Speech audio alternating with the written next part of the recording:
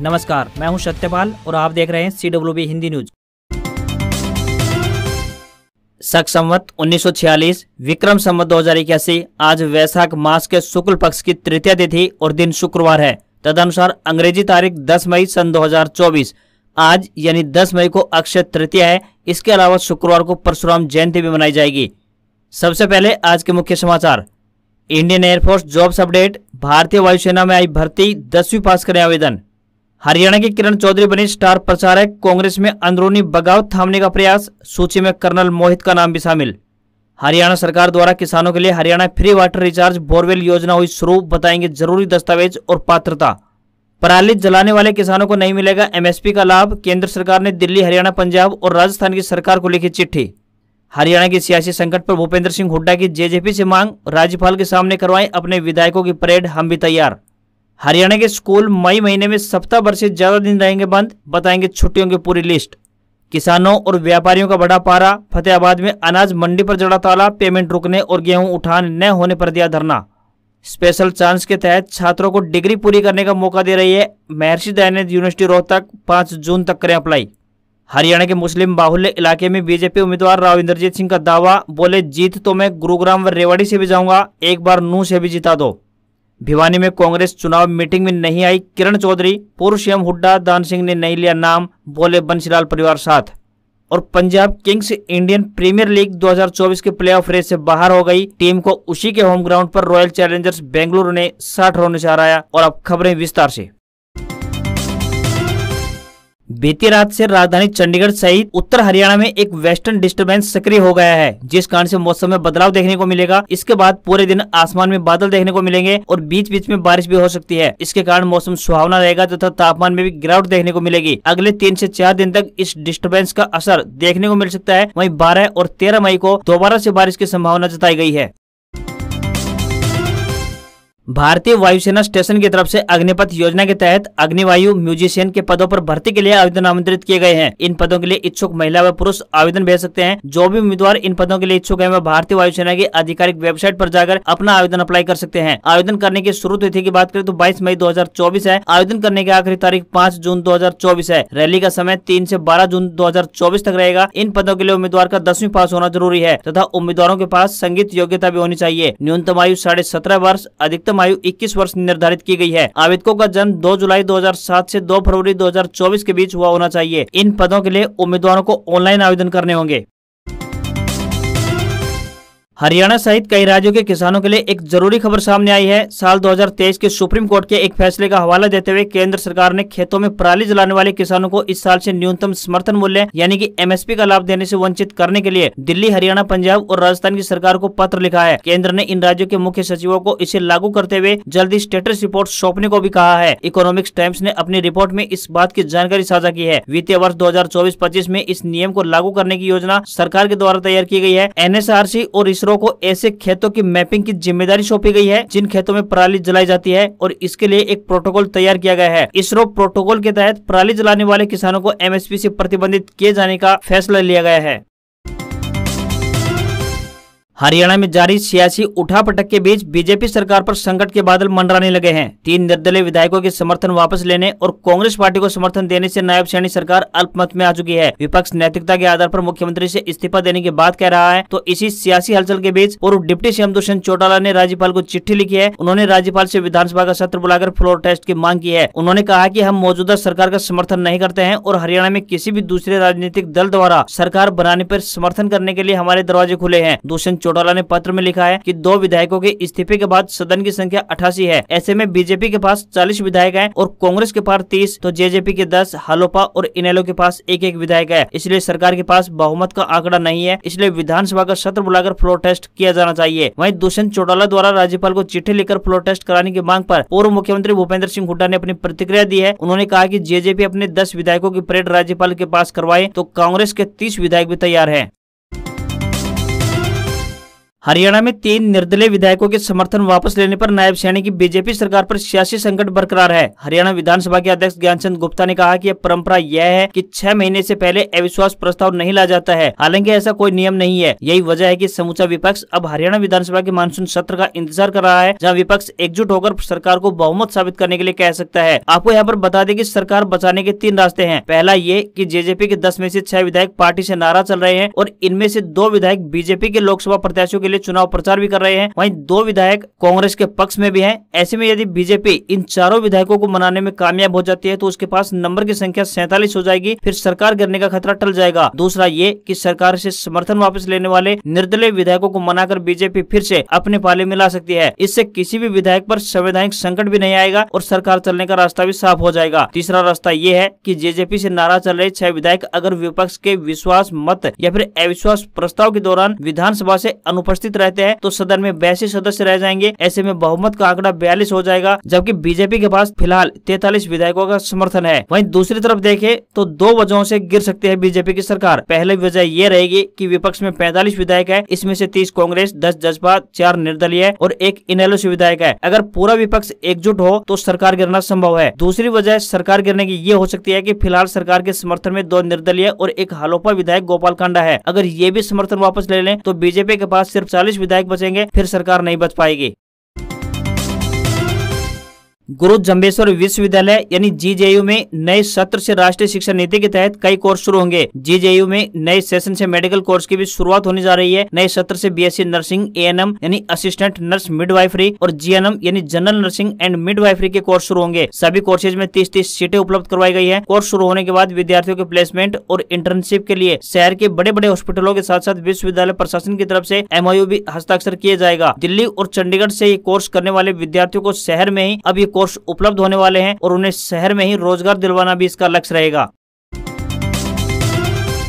हरियाणा सहित पंजाब, हिमाचल प्रदेश और राजस्थान के लोगों के लिए एक राहत भरी खबर सामने आई है। समय से पहले ग्लेशियर पिघलने से इस बार नंगल स्थित भागड़ा डैम में पर्याप्त जलस्तर होने के कारण गर्मियों में उपरोक्त राज्य में कृषि के साथ साथ पीने के पानी की भी कोई किल्लत नहीं रहने वाली है। बता दें की पिछले कुछ दिनों ऐसी गर्मी ने अपना रौद्र रूप दिखाना शुरू कर दिया है, जिससे एकाएक पानी की डिमांड अचानक ऐसी ज़्यादा बढ़ गई है। ऐसे में भाखड़ा डैम में पर्याप्त जलस्तर की खबर इन राज्यों के लोगों के लिए बड़ा सुकून लेकर आई है। हिमालय पहाड़ियों में ग्लेशियर पिघलने ऐसी नंगल स्थित भाखड़ा डैम में पानी आना शुरू हो जाता है, जितना पानी ज़रूरत के लिए निकाला जाता है, उससे ज़्यादा ग्लेशियर पिघलने से डैम में आ जाता है। भाखड़ा डैम में पानी की पर्याप्त उपलब्धता के चलते हरियाणा में सिंचाई के लिए नहरों के दो ग्रुप बनाए गए हैं। इनमें प्रत्येक ग्रुप को 16-16 दिन पानी मिलता है। भाखड़ा मेन लाइन ऐसी पानी नरवाना ब्रांच नहर, दिल्ली व करनाल पहुँचता है। यहाँ ऐसी फिर पानी हरियाणा, दिल्ली, पंजाब व राजस्थान के कुछ क्षेत्रों में जाता है।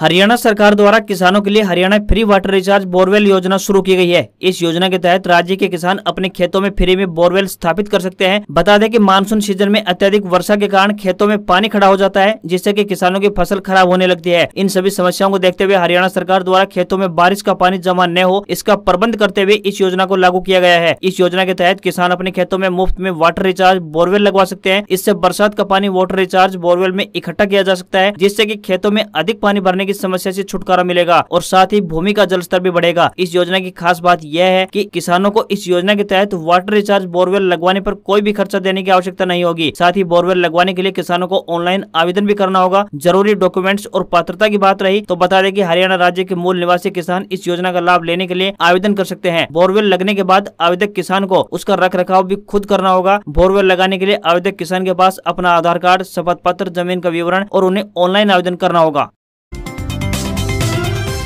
हरियाणा के स्कूलों में नया शैक्षणिक सत्र शुरू हो चुका है। अप्रैल के महीने से शुरू हुई एडमिशन की प्रक्रिया भी अब धीमी पड़ती हुई नज़र आ रही है। मई महीने की शुरुआत से स्कूलों में सिलेबस करवाने पर भी ज़ोर दिया जा रहा है, क्योंकि जून के महीने में होने वाले ग्रीष्मकालीन अवकाश से पहले ही विद्यार्थियों को निर्धारित सिलेबस करवाया जाना होता है। इसी बीच मई के महीने में होने वाली छुट्टियों की लिस्ट भी जारी कर दी गई है। हरियाणा सरकार द्वारा दस मई यानी आज परशुराम जयंती के उपलक्ष्य में सभी शैक्षणिक संस्थानों में छुट्टी की घोषणा की गई है। साथ ही इसे मिलाकर मई के महीने में सप्ताह भर से ज़्यादा छुट्टियाँ रहने वाली है। इनमें रविवार को होने वाली छुट्टियाँ भी शामिल है। इसके अलावा 25 मई को लोकसभा चुनाव के चलते छुट्टी घोषित की गई है। तो यहाँ पर आपको बता दें की दस मई यानी आज शुक्रवार को परशुराम जयंती व अक्षय तृतीया के रहने के कारण छुट्टी है। वही ग्यारह मई दूसरा शनिवार पड़ेगा। 12 मई को रविवार होने के कारण छुट्टी हो गई है। तो साथ ही उन्नीस मई को रविवार, तेईस मई वीरवार को बुद्ध पूर्णिमा व गुरु गोरखनाथ स्मृति दिवस के कारण स्थानीय अवकाश रहेगा। वहीं पच्चीस मई को लोकसभा चुनाव के कारण छुट्टी रहेगी। तो वहीं छब्बीस मई को रविवार के कारण छुट्टी है।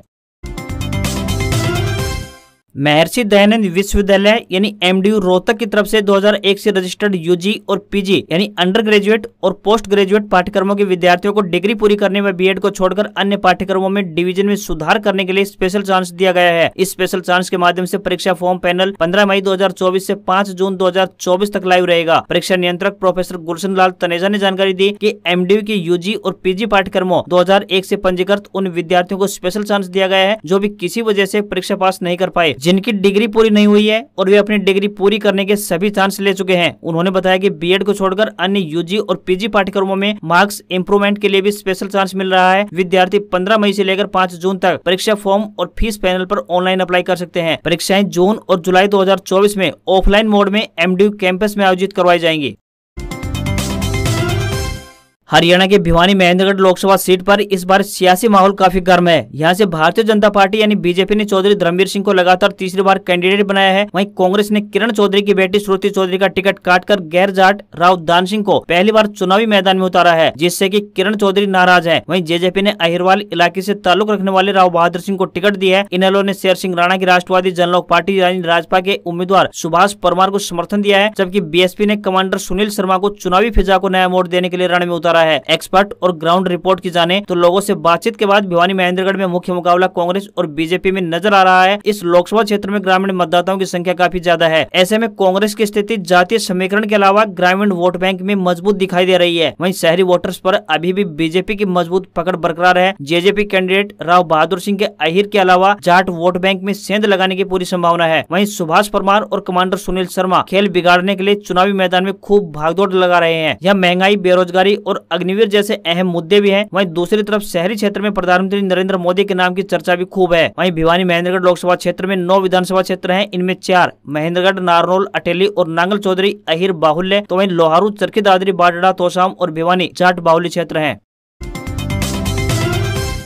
महेंद्रगढ़ को एक तरह से बीजेपी का मज़बूत किला कहा जाता है, लेकिन इस किले में कांग्रेस के राव दान सिंह की सेंधमारी 2019 में भी देखने को मिली थी। राव दान सिंह कांग्रेस के ऐसे नेता हैं जिनकी खुद की पहचान महेंद्रगढ़ विधानसभा से बाहर, यानी अटेली, नांगल चौधरी और नारनौल में भी है। भिवानी और चरखी दादरी जाट बाहुल्य इलाके हैं। यहाँ पिछले चुनाव में बीजेपी को ज़रूर बढ़त मिली है, लेकिन इस बार परिस्थितियाँ बिल्कुल अलग है। जाट मतदाता बीजेपी ऐसी खुश दिखाई नहीं दे रहे हैं, जिसका नुकसान बीजेपी को हो सकता है। वही कांग्रेस की शहरी विधानसभा सीट कहे जाने वाले नारनौल और भिवानी विधानसभा में हालात ठीक नहीं है। अटेली महेंद्रगढ़ के अलावा चौधरी धर्मवीर सिंह की दो बार की जीत में अहम रोल अदा करने वाली लोहारू, चरखी दादरी, बाडड़ा और तोसाम इलाके में राव दान सिंह के इस बार मजबूती के साथ टक्कर दे रहे हैं। तो वही बाडड़ा ऐसा इलाका है जिससे की जेजेपी का गढ़ भी कहा जाता है। लेकिन दो महीने पहले बीजेपी के साथ टूटे गठबंधन के बाद यहाँ के जाट मतदाता का रुझान इस बार कांग्रेस की तरफ़ ज़्यादा दिखाई दे रहा है। वही नांगल चौधरी में दोनों ही कैंडिडेट के बीच कांटे की टक्कर है। कांग्रेस कैंडिडेट राव दान सिंह ही नहीं, बल्कि बीजेपी के कैंडिडेट चौधरी धर्मवीर सिंह को भी भीतर घात का खतरा बना हुआ है। राव दान सिंह के सामने सबसे बड़ी चुनौती किरण चौधरी है। भले ही